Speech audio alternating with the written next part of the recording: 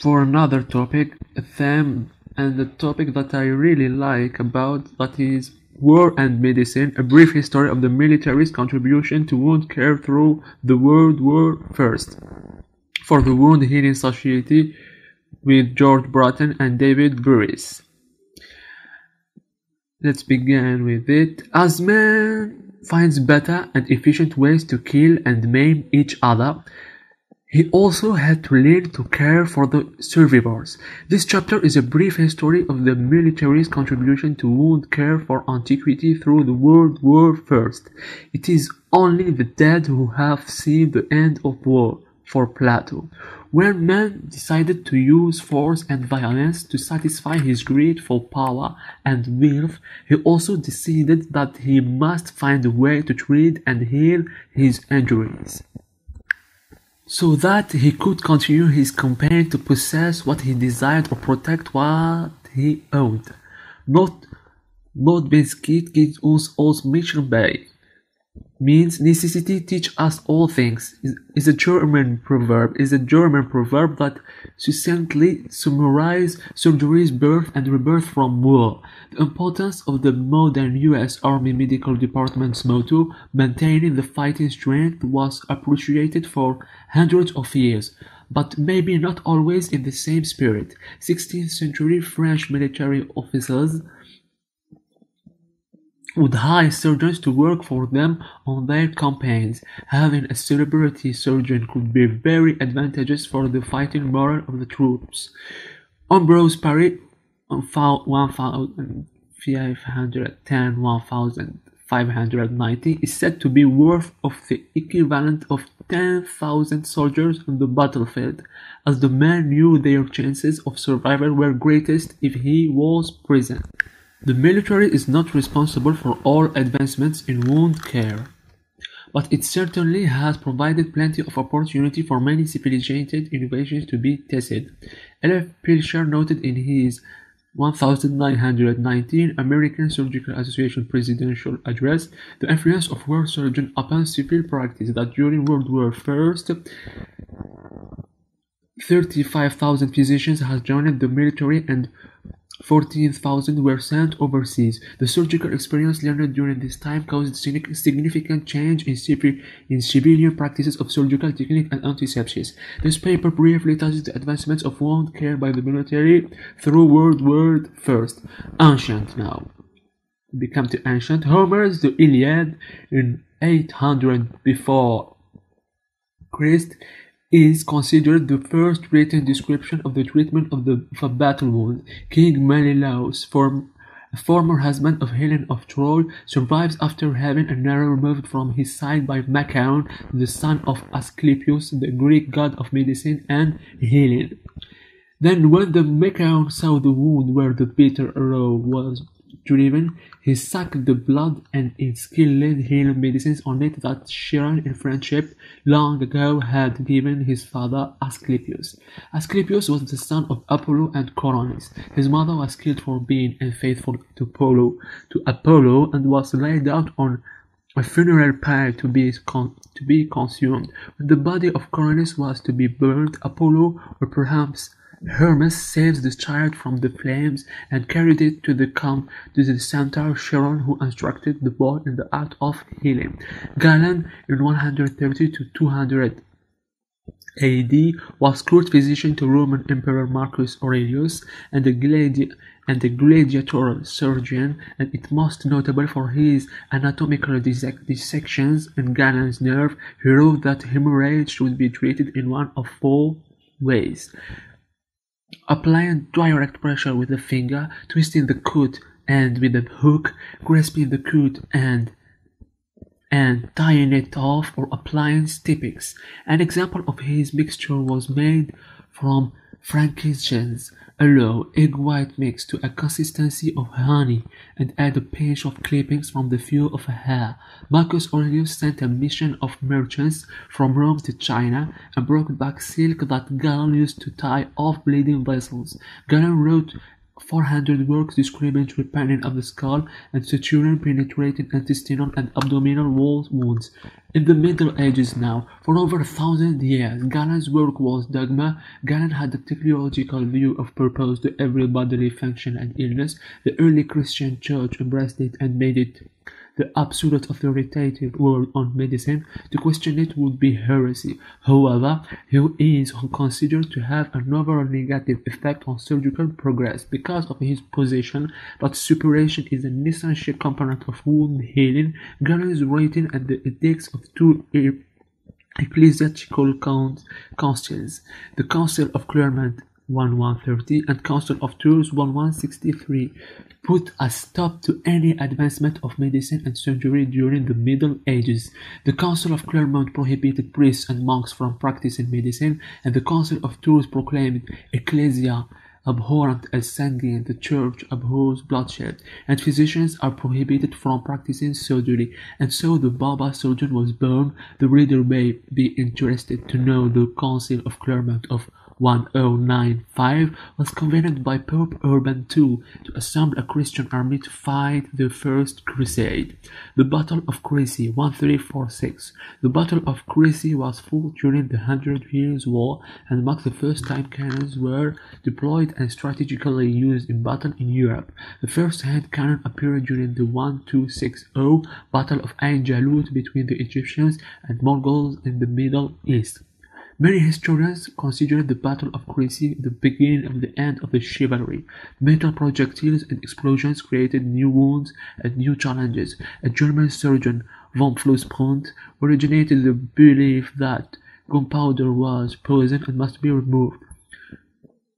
Hieronymus Brunswick, also a German surgeon, wrote the first book on the treatment of firearm, firearm wounds in 1497. He wrote, In case a man has been shot with a gun and the bullet is still in place, he's, po- he's poisoned by the powder, or part of the powder is still in the body, in the arm or leg or wherever the wound may be. Take a satyr, push it through the wound, and put it back and forth to force the powder out. His work established the standard treatment for extremely messy wounds for almost 300 years. Coated the wound with a the hot iron or boiling oil and plug the wound. Amputation was not done unless gangrene was present, and only through dead tissue to avoid the problem of blood, of blood loss. Brunswick is also credited with reporting the first bowel repair from a war wound. Now for the 6th and 17th centuries, Ambroise Paré 1 4 10 1590 became barber surgeon in the army of Francis I 1536 1538 and 1536 at the siege of Turin. Paré did not have any seething elder oil available to him to him to treat the wounded. Paré substituted egg yolk and turpentine and bandaged, and bandaged the wounds and observed that, that the healing was better under this treatment. He resolved never so cruelly to burn poor men wounded with gunshot. His observations, published in 1545, gave the impetus to a rational reform of the whole system of dealing with wounds, and did away with the theory of poisoned gunshot wounds. Paré was re reluctant to explore gunshot wound unless it was to remove foreign bodies, detached piece of bone, and congealed blood. Fractures were treated by rejection, immobilization, and various concoctions to hinder development of pain, inflammation, fever, abscess, gangrene, and vessel mortification or mortification. Vascular ligation was revived by Paré for amputations. A surgeon during this era had about 30 seconds to amputate the limb and 3 minutes to complete the operation, working without anesthesia and a tourniquet.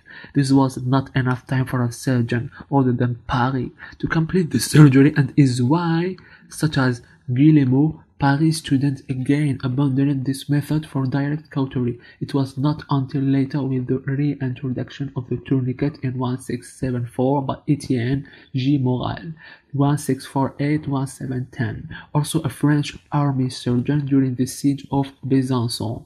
That ligation would have more widespread use. Perhaps the most significant advance in the performance of amputation was the tourniquet of Jean-Louis Petit in 1674-1750, Petit modified Morel's tourniquet so that it was easier to apply, and tension could be adjusted using a screw. Petit's modification allowed the surgeon to perform the surgery alone, or with only one assistant, perhaps to hold the patient. Whereas before several people were needed, his device was also recognized to be useful to control bleeding from massive wounds. Henri François Le Dran in 1685-1770 recommend, recommended Petit's tourniquet to the military and described the importance of fasciotomy incising into muscle compartments was essential to release pressure from bleeding, injury, or inflammation. William Clowes was a surgeon in the British Navy and considered the preeminent surgeon in Elizabethan England in 1536, he published a book advocating debridement, extraction of foreign bodies, and avoidance of cautery when treating wounds. He also renamed the debate gunpowder is poison by announcing that the bullet could be smeared with poison before it was fired. This was eagerly accepted and is thought to have been responsible for many prisoners of war being executed when their injured captors died with infected wounds. Now for 18th and 19th centuries, Napoleon's surgeon Dominique Jean Larrey in 17661842 wrote extensively on the necessity for early amputation for any limb injured that cannot be saved. Hospital gangrene was frequently seen in untreated wounds and was almost universally fatal. Larrey reasoned that an early amputation would obviate, obviate this danger by creating a relatively clean, viable wound. This belief was held by most but not all through the American Civil War. 30% of gunshot and fragment wounds to the extremities resulted in amputation. Larrey developed ambulance volantes, flying hospitals, carriages that had a spring suspension so that a occasional ride was possible. His surgical team would race through the battlefield, treating the wounded and performing amputations on the battlefield. He reasoned, he reasoned that shock of the wound rendered it relatively insensate and the patient more cooperative. He tested his postulate in 1793 at the Battle of Metz and was so successful and was so successful in saving patients and improving troop morale that he was tasked with reorganizing the medical care of all the 14 armies of the French Republic. Carrea 18461890, a Russian military surgeon, recommended adding more extensive mechanical wound cleaning, cleansing sorry, which he termed debridement, he demonstrated a significant reduction in mortality from patients he treated during the Russo-Turkish War. In the Americas, wound care varied very little from the being done in Europe. The biggest advancement came in the way the wounded received their care. Jonathan Letterman in 1824-1872 was tasked by Major General George B. McClellan to fix an efficient medical care system of the Union Army. Letterman devised a system of forward first first aid stations at the regimental level where one medical official was tasked with performing tree aid. He established mobile field hospitals to be located at division and corps headquarters in August eh, 1862. Letterman established an efficient ambulance corps and supply system that he placed under the control of medical staff instead of the quartermaster department. At each at each hospital, one physician was responsible for keeping records on all admissions, and he and the second was delegated to provide shelter, bedding, fuel, and nutrition services. Ira Rutkow, a surgical historian, said the title operating surgeon was one of the most momentous medical reforms to come out of the Civil War. Letterman instituted a policy that only the three most experienced physicians in each division are permitted to are permitted to perform surgical procedures. This was the first time professional privilege was, was in instituted and was dependent on documentation of the physician's proficiency and experience. Letterman proved the efficiency of his systems at the Battle of Fredericksburg, in which the Army of the Potomac suffered 12 thousand casualties. His system was adopted by other Union armies and was eventually officially established as the medical procedure for this entirely of the United States armies by an act of Congress in March 1864. G. G. Chisolm, the chairman of surgery at the Medical College of South Carolina, received the first medical appointment for active military service for the Confederacy, and he recommended that surgeons be examined by senior surgeons before they were allowed to perform amputations. And we're done with today's topic in chapter 1. In other sessions, we will receive and will overcome another chapters in this exciting moments.